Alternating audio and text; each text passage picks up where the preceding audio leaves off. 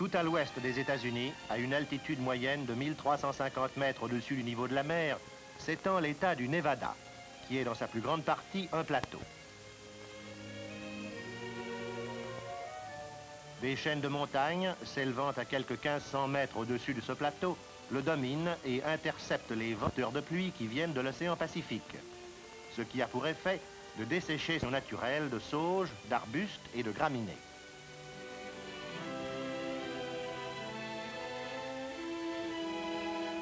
Au nord du Nevada s'étendent les États de l'Oregon et de l'Idaho.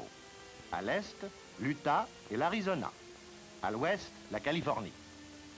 Nevada est un mot espagnol qui signifie couvert de neige.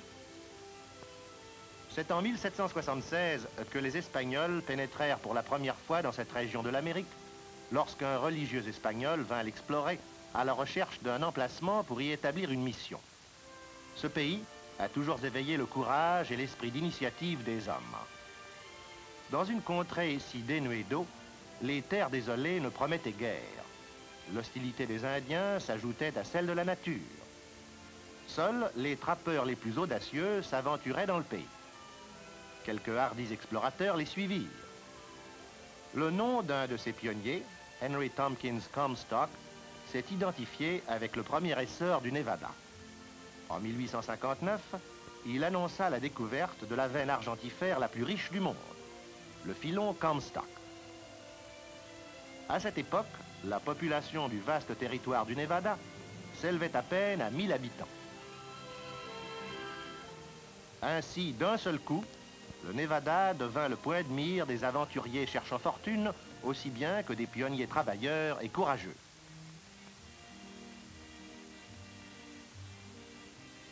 De partout, on se rua vers le Nevada. Les hommes amenaient avec eux leurs familles et leurs biens.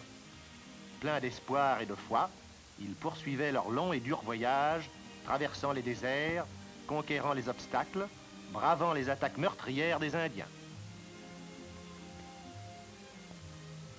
Ils avançaient toujours vers cette terre promise, une terre qui n'attendait pour s'éveiller que leur labeur et leurs efforts constructifs. La glaise noire du désert cachait le minerai d'argent. L'analyse démontra que ce minerai contenait une proportion d'argent phénoménale. Une ère de progrès commença. On construisit des chemins de fer. Des trains partaient avec des trésors, ils revenaient avec des matériaux de construction. Et avec de la dynamite pour mettre à nu d'autres trésors. Le Nevada prospérait. Sa population s'accroissait sans cesse. Pendant 25 ans, on exploita le trésor, des centaines de millions de dollars en argent et en or. Puis, brusquement, la production de l'argent s'arrêta et les prix tombèrent. Un puits, foré au-dessous du niveau d'un tunnel de drainage, avait rencontré une nappe d'eau chaude. Les mines furent inondées.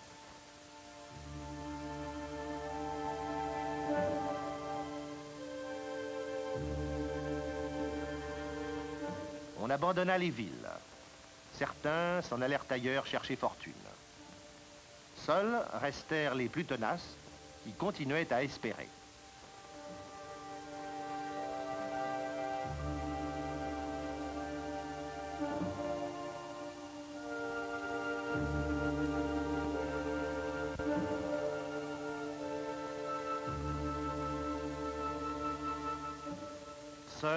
Des bâtiments déserts rappelaient les jours où prospérait une foule cosmopolite. La familière blanchisserie chinoise, les boutiques où l'on vendait les outils de mineurs, les bureaux où l'on évaluait la teneur des minerais. Dans les cimetières du Nevada reposent quelques-uns des hommes qui ont traversé les mers en quête de son trésor. Évocation silencieuse de la lutte et des sacrifices d'une époque qui prit fin avec son siècle.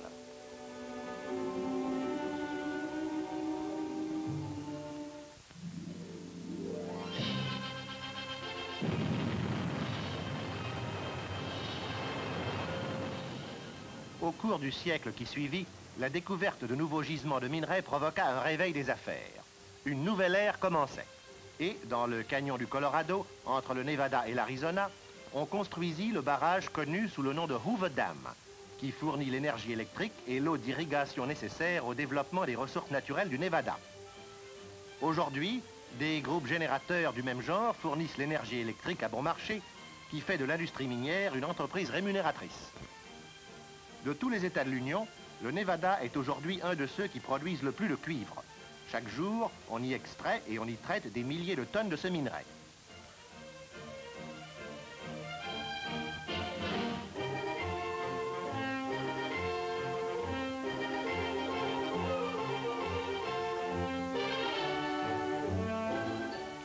Servant la nation de bien des manières, le cuivre s'utilise pour la construction des moteurs électriques, comme conducteur d'électricité, pour la fabrication d'ustensiles de cuisine et nombre d'autres objets utiles.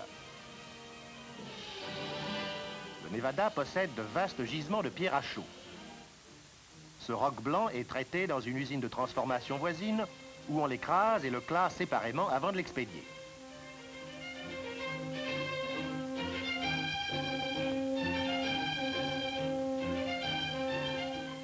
Une certaine quantité de cette pierre à chaud est expédiée à des raffineries de sucre et à des riz. Mais la plus grande partie, traitée sur place, fournira de la chaux pour enduire les murs.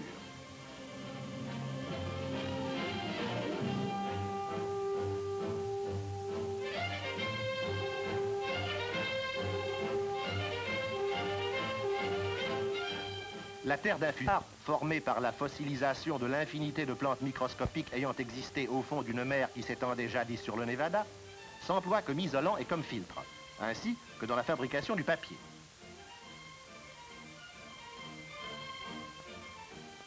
Le gypse, minéral très répandu, blanc, aisément friable, se trouve en quantité abondante au Nevada.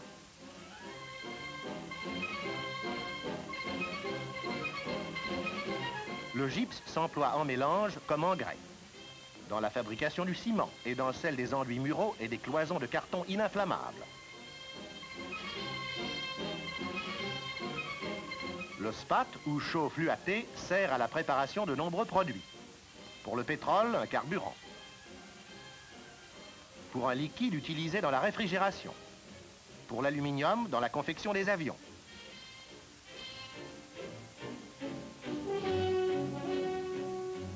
Constamment, on découvre d'abondants gisements de schélite, minerai dont on extrait le tungstène, métal très précieux.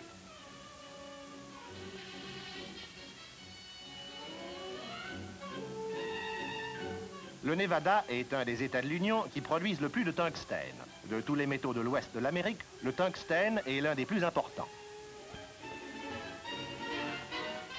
L'énergie électrique vient en aide aux hommes qui travaillent sous terre dans les mines de tungstène.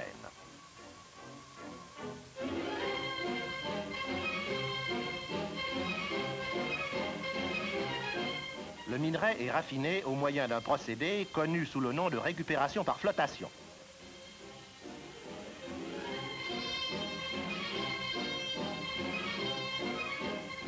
Le tungstène est un élément important de la fabrication des lampes à filaments métalliques et s'emploie en alliage dans la fabrication de l'acier au tungstène auquel il communique dureté et résistance.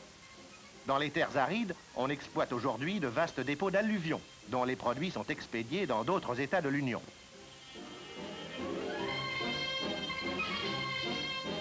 Les sables silicieux du Nevada sont fondus et transformés en articles de verrerie dans des usines situées à des centaines de kilomètres de leur point d'extraction. Dans les montagnes, on dynamite les abondants gisements de magnésite et de brucite.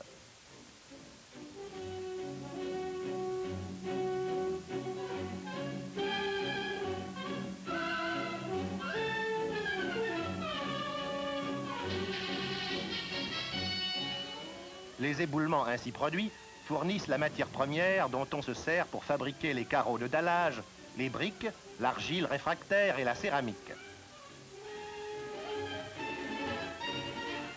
Dans les terrains orifères, un outillage perfectionné permet de produire davantage et à un prix moindre que jadis.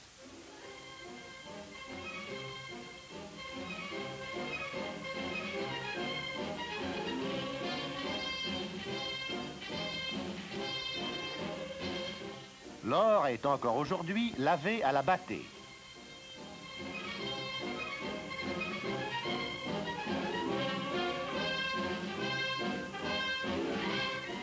Les gisements argentifères que l'on avait abandonnés sont remis en exploitation. Aujourd'hui, le Mexique, les États-Unis et le Canada viennent en tête de la liste des pays producteurs d'argent. Puis viennent le Pérou, puis l'Australie, l'Allemagne, le Japon, l'Inde et la Birmanie. Grâce à de meilleures méthodes de récupération, on peut maintenant, en partant d'un minerai de qualité inférieure, produire des barres d'argent à haute teneur.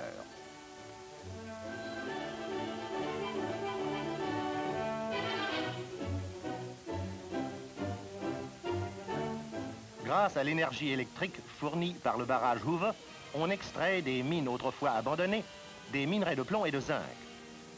Du zinc pour la galvanisation et pour la fabrication du laiton. Du plomb pour l'essence à haute teneur d'octane. Les batteries d'accumulateurs. Et les matières colorantes.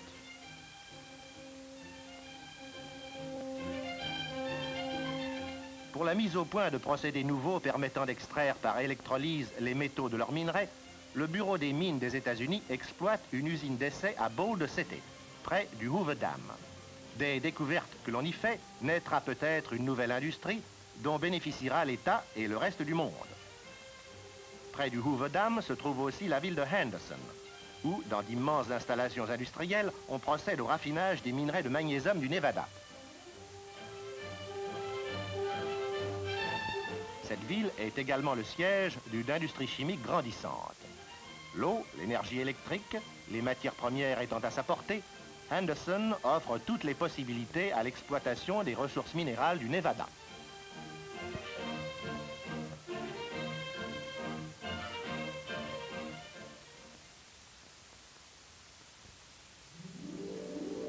Le Nevada n'a pas concentré toute son énergie sur l'industrie minière. Sa nature désertique défie le fermier bien plus encore que le mineur. Il a fallu beaucoup de courage et de résolution, de sueur et de labeur pour faire croître des cultures viables dans le désert. Tant d'hectares de terres de cultures fécondes témoignent de l'opiniâtreté comme de l'initiative dont les agriculteurs ont fait preuve au cours des années.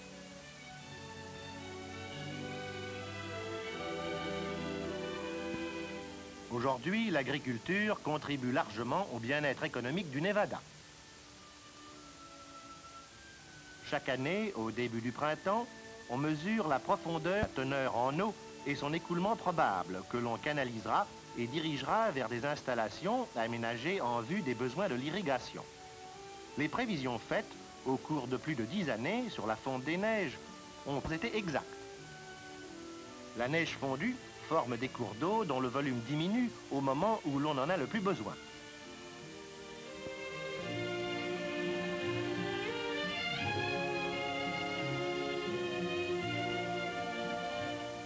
Beaucoup de ces cours d'eau, sans issue sur l'océan, se perdent dans les sables du désert.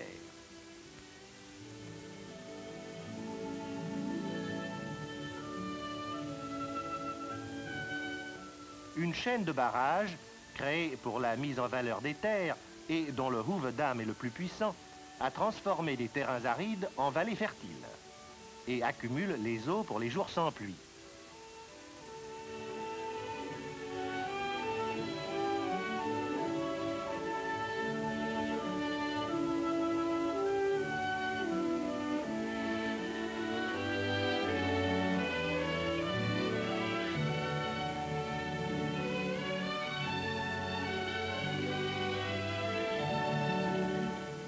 En une seule année, le Nevada a construit plus de 300 barrages, irriguant des centaines de milliers d'hectares, procurant de l'eau pour les jeunes plants de tomates, de l'eau pour les fraises, pour les oignons, pour les melons, pour le maïs, pour les champs d'orge, de seigle, d'avoine, de blé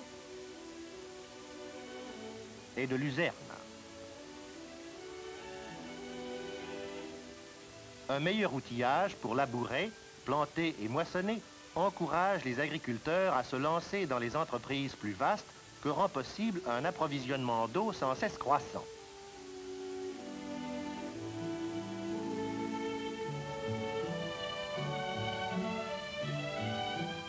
L'État du Nevada n'est pas le seul à apprécier une bonne dinde dont il fait l'élevage.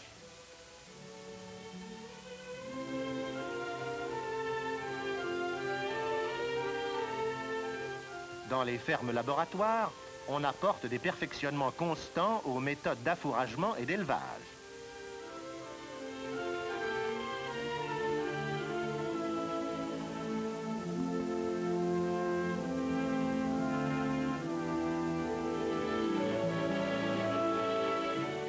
L'élevage de la volaille et du bétail, de même que l'agriculture et l'industrie laitière, procurent à l'État une grande partie de son revenu.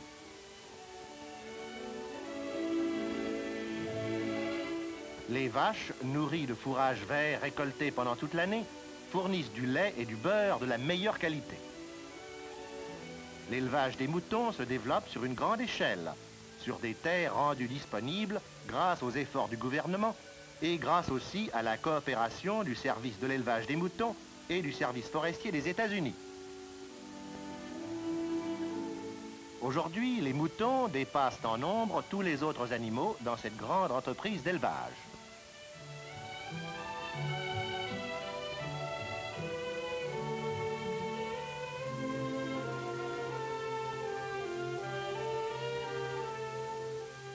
Le Nevada apporte sur le marché national ses précieuses récoltes de laine qu'il expédie à divers centres commerciaux et industriels dans toute l'Amérique.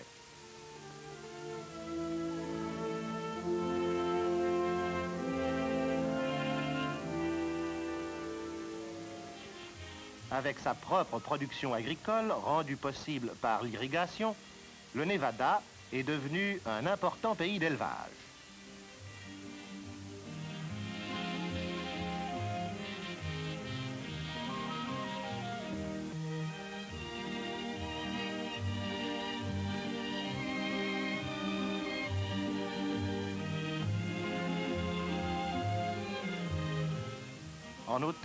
On rassemble le bétail.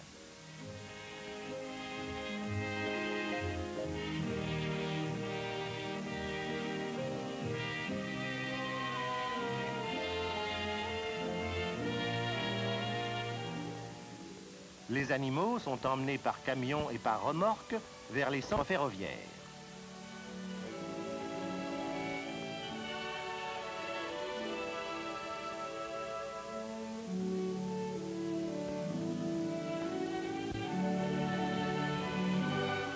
La production agricole du Nevada n'a pas moins contribué que ses richesses minières à l'expansion de ses villes.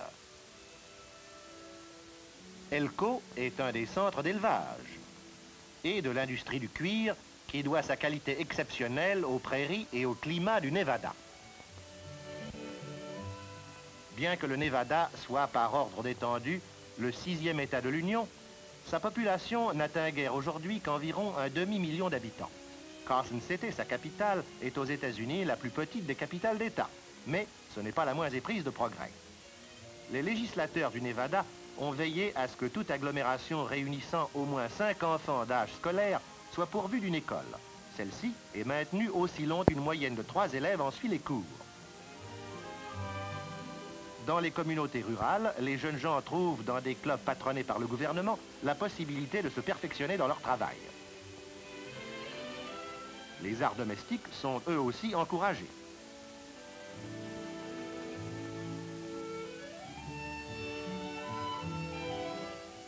C'est à Reno que se trouve l'Université du Nevada, un institut de haute culture intellectuelle patronné par l'État.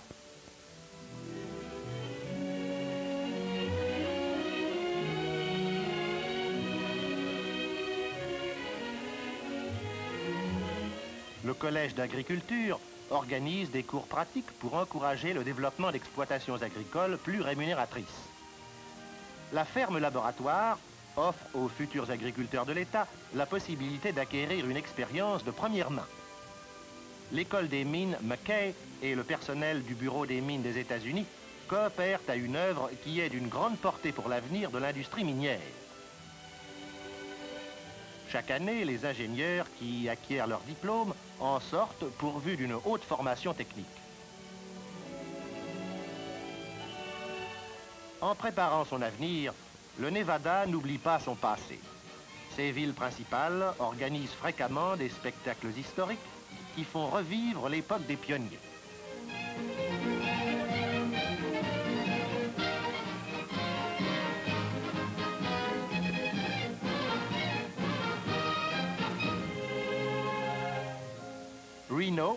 La métropole du Nevada, n'est pas une des plus grandes villes de la nation, mais c'est une des plus modernes.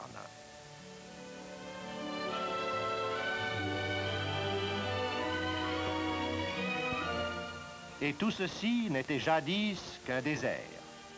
Avec courage et initiative, grâce à leur prévoyance, les habitants du Nevada ont bâti un foyer pour eux-mêmes, pour leurs enfants et pour leurs petits-enfants. Pourtant, il reste encore beaucoup de terre à mettre en valeur et beaucoup à faire. Le Nevada, si étendu, si peu peuplé, sera toujours pour l'homme à la fois un défi et une occasion de succès.